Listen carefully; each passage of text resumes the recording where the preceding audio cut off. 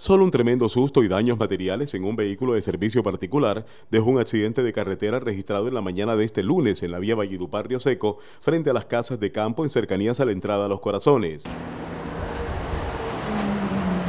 Según el conductor del automóvil, quien iniciaba viaje con destino a Bogotá, junto con su esposa, el accidente ocurrió cuando perdió el control del vehículo, al parecer por un microsueño. Venía normal por la carretera y el sol me estaba pegando, no sé, sentí que se me cerraron los ojos y cuando me desperté estaba ahí puesto en eso. Fue necesaria la utilización de una grúa para sacar el vehículo del fondo de la sequía sin agua, en donde quedó incrustado. Tras el accidente, los dos ocupantes del automóvil resultaron ilesos.